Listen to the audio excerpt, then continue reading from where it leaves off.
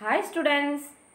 Today let's learn a new topic from our first chapter Earth our home. Subtopic is shape of the earth. In the beginning people were unaware of the shape of the earth. They thought it was flat. They were afraid of traveling too far due to fear of falling off the edge of the earth. What is the meaning of edge?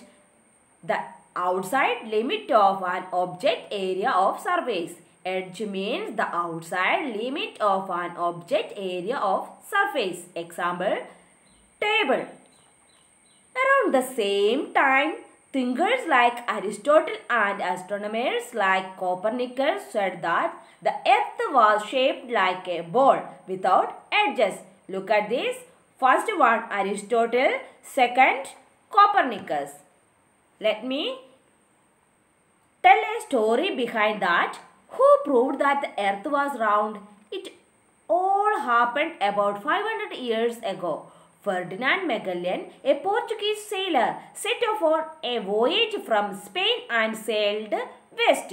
Magellan and his sailors kept sailing in the same direction. After three years, they reached the same place from where they had started the voyage. This proved that the earth was not flat but round. Who proved that the earth was round?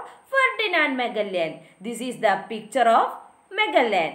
This look at this map. This is the voyage route of Magellan. Today's we end our topic. I think understand this section. Today's homework.